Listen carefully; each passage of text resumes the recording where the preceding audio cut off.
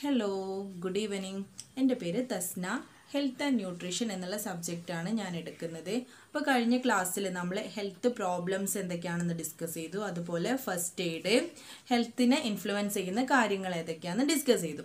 ഇന്ന് നമ്മൾ ഡിസ്കസ് ചെയ്യാൻ പോകുന്നത് നീഡ്സ് ഓഫ് ചിൽഡ്രൻ കുട്ടികൾക്ക് വളർച്ചയ്ക്ക് ആവശ്യമായിട്ടുള്ള ഘടകങ്ങൾ ഏതൊക്കെയാണെന്നാണ് നമ്മൾ ഇന്ന് ഡിസ്കസ് ചെയ്യാൻ പോകുന്നത്. ഇപ്പോൾ ഏതൊരു ഹ്യൂമൻ ബീങ്ങിനെ സംബന്ധിച്ചിടത്തോളം നമ്മൾ അവരുടെ ആവശ്യങ്ങൾ മൂന്നായിട്ട് തരംതിരിച്ചിട്ടുണ്ട്. Physiological needs socio emotional needs and cognitive needs first നമുക്ക് എന്ത് ചെയ്യാം? ഫിസിയോളജിക്കൽ നീഡ്സ് നമുക്ക് ഡിസ്കസ് ചെയ്യാം. ഫിസിയോളജിക്കൽ നീഡ്സ് എന്ന് പറഞ്ഞാൽ എന്താണ്? ശാരീരിക ആവശ്യങ്ങൾ അല്ലേ? ഇപ്പോൾ നമ്മൾ പറയുകയാണെങ്കിൽ ഇപ്പോൾ നമ്മൾ ഫസ്റ്റ് ഓഫ് ഓൾ ഏതൊരു ഹ്യൂമണിനെ സംബന്ധിച്ചിടത്തോളം നമുക്ക് ആവശ്യം ഏതാണ്? ഫസ്റ്റ് ഉള്ള ആവശ്യം നമുക്ക് ഫുഡാണ് അല്ലേ ഇപ്പോൾ ഒരു കുട്ടിക്ക് എന്താണ്? കറക്റ്റ് സമയത്ത് ശരിയായ ആവശ്യങ്ങൾക്കുള്ള ഫുഡ് എന്ത് ചെയ്യണം? അതിന് ലഭിക്കണം. ഇപ്പോൾ നമ്മൾ ആറ് മാസം വരെ ഇപ്പോൾ ജനിച്ച് ആദ്യത്തെ ആറ് മാസം വരെ കുട്ടിക്ക് എന്താണ്? മദർ മിൽക്കാണ് നമ്മൾ കൊടുക്കുന്നത്. ആ കുട്ടിക്ക് ആവശ്യമായിട്ടുള്ള എല്ലാ പ്രോട്ടീൻസും മിനറൽസും എന്താണ്? മദർ മിൽക്കിൽ ആ കുട്ടിക്ക് ലഭിക്കും. ഇനി നമ്മൾ ആഫ്റ്റർ അഞ്ച് മാസമൊക്കെ കഴിഞ്ഞാൽ നമ്മൾ എന്ത് ചെയ്യും? കുട്ടിക്ക് ചെറിയ അളവിലുള്ള ദ്രാവക രൂപത്തിലുള്ള ഫുഡൊക്കെ നമ്മൾ കൊടുക്കും. ഇനി ചില സമയത്ത് കുട്ടികൾക്ക് ആവശ്യമായിട്ടുള്ള പാൽ അവയുടെ അമ്മയുടെ കയ്യിൽ നിന്ന് കിട്ടാതിരുന്നാൽ നമ്മൾ എന്ത് ചെയ്യും? നെക്സ്റ്റ് നമ്മൾ വാ ബോട്ടിൽ ഫീഡിംഗ് ഒക്കെ നമ്മൾ നടത്താറുണ്ട്. അപ്പോൾ നമ്മൾ അഡീഷണൽ ആയിട്ട് നമ്മൾ കൊടുക്കുന്ന ഫുഡിനെന്നാണ് നമ്മൾ എന്ത് പറയുക വീനിങ് അഥവാ adjustment feeding system of a baby അപ്പോൾ വീനിങ് എന്താണെന്ന് നമ്മൾ പറഞ്ഞു. ഇനി നമ്മൾ കുട്ടിക്ക് നമ്മൾ കറക്റ്റ് അളവിലുള്ള വാട്ടർ കൊടുക്കണം. അപ്പോൾ ഏതൊരു കുട്ടിക്ക് എന്താണ്?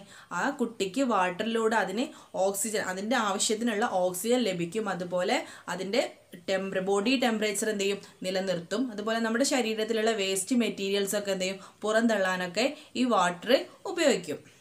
ഉപകാരപ്പെടും. ഇനി നമുക്ക് advantages of breast feeding breast feeding കൊണ്ടുള്ള നേട്ടങ്ങൾ എന്തൊക്കെയാണെന്ന് നോക്കാം.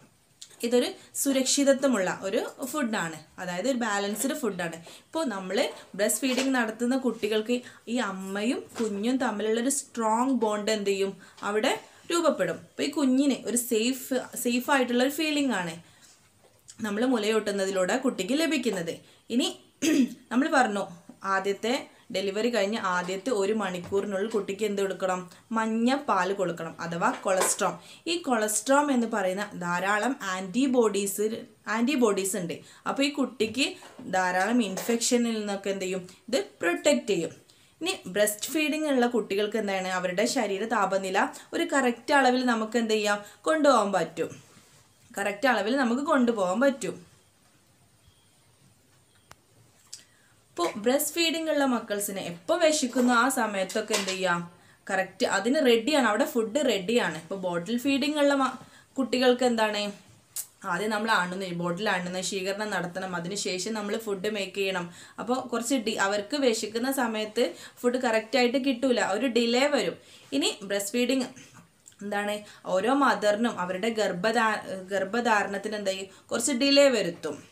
ഇപ്പം ഞാൻ നേരത്തെ പറഞ്ഞു ബ്രസ്റ്റ് ഫീഡിങ് മദറിനും കുട്ടിക്കും എന്താണ്? ഒരു സ്ട്രോങ് ഇമോഷണൽ ബോണ്ടാണ് അവിടെ ക്രിയേറ്റ് ചെയ്യുന്നത്. അപ്പം നമ്മൾ ധാരാളം അഡ്വാന്റേജസ് പറഞ്ഞു. ഇനി ബ്രസ്റ്റ് ഫീഡിങ് കൊണ്ടുള്ള ഡിസഡ്വാന്റേജസ് ഏതൊക്കെയാണ് നമുക്ക് നോക്കാം.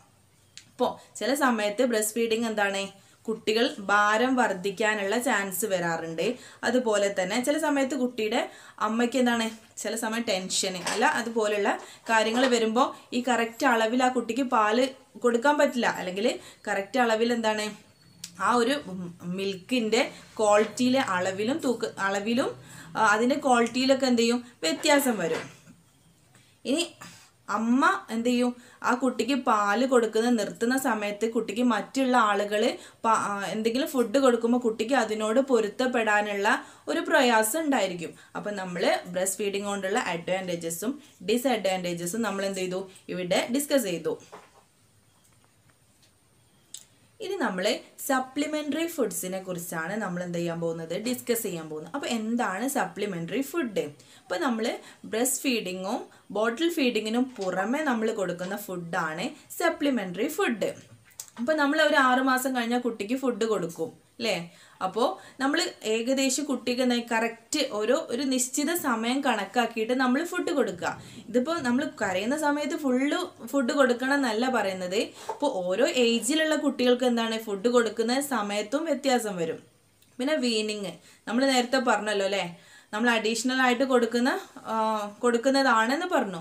അപ്പോൾ കുട്ടികൾ എന്താണ് ഈ ബോട്ടിലോ അല്ലെങ്കിൽ ബ്രസ്റ്റ് ഫീഡിങ്ങോ അവർക്ക് ആ ഒരു തയക്കേ അവർക്ക് ഉണ്ടാ ഉണ്ടാവുള്ളൂ. ആ ഒരു ശീലമേ അവർക്ക് ഉണ്ടാവുള്ളൂ. അപ്പം നമ്മൾ അടുത്ത ഫുഡൊക്കെ കൊടുക്കുന്ന സമയത്ത് കപ്പിലോ അങ്ങനെയൊക്കെ കൊടുക്കാൻ നമ്മൾ പരിശീലിപ്പിച്ച എന്ത് ചെയ്യും? അവർക്ക് ചവയ്ക്കാനും ഒക്കെ ഉള്ളൊരു ടെൻഡൻസി അവർക്ക് ഉണ്ടാവും. ഈ നെക്സ്റ്റ് നമ്മൾ പറയാൻ പോകുന്നത് സാധാരണ നമ്മൾ ആറ് മാസത്തിന് ശേഷമാണ് നമ്മൾ ഫുഡൊക്കെ വേറെ അഡീഷണൽ ഫുഡൊക്കെ നമ്മൾ കൊടുക്കുക. അപ്പോൾ ദ്രാവക ഫുഡിനോടൊപ്പം തന്നെ നമ്മൾ ചെറിയ രീതിയിലുള്ള ധാന്യങ്ങളൊക്കെ എന്ത് ചെയ്യും? പൊടിച്ച് വിരകിയിട്ടൊക്കെ നമ്മൾ കൊടുക്കും. അത് കുട്ടികൾ പല്ലില്ലാത്തതുകൊണ്ട് നമ്മൾ എന്ത് ചെയ്യണം ഒന്ന് അരിച്ചൊക്കെ കൊടുക്കാൻ ശ്രമിക്കണം. ഇനി അവർക്കുള്ള പുതിയ ഫുഡുകൾ ഏതൊക്കെയാണെന്ന് നമുക്ക് നോക്കാം. അപ്പോൾ നമ്മൾ ആദ്യം ഓറഞ്ച് ജ്യൂസ് കൊടുക്കും അല്ലേ? ആദ്യത്തെ മൂന്ന് മാസത്തിന് ശേഷം നമ്മൾ എന്ത് ചെയ്യും? ഓറഞ്ച് ജ്യൂസ് കൊടുക്കും. പിന്നെ അതിന് ശേഷം നമ്മൾ നമുക്ക് ചെറിയ രീതിയിലുള്ള ധാന്യങ്ങളൊക്കെ കൊടുക്കുക. ഇനി നമ്മൾ ഫ്രൂട്ട്സ് ഈ ധാന്യങ്ങൾക്ക് ധാന്യങ്ങൾ കൊടുത്തു കഴിഞ്ഞ് കുറച്ച് കഴിഞ്ഞതിന് ശേഷം നമുക്ക് ഫ്രൂട്ട്സ് ചെറിയ അളവിലൊക്കെ ഫ്രൂട്ട്സ് കൊടുക്കാം. അത് കഴിഞ്ഞ് നമ്മൾ വെജിറ്റബിൾസ് നമുക്ക് യൂസ് ചെയ്യാം.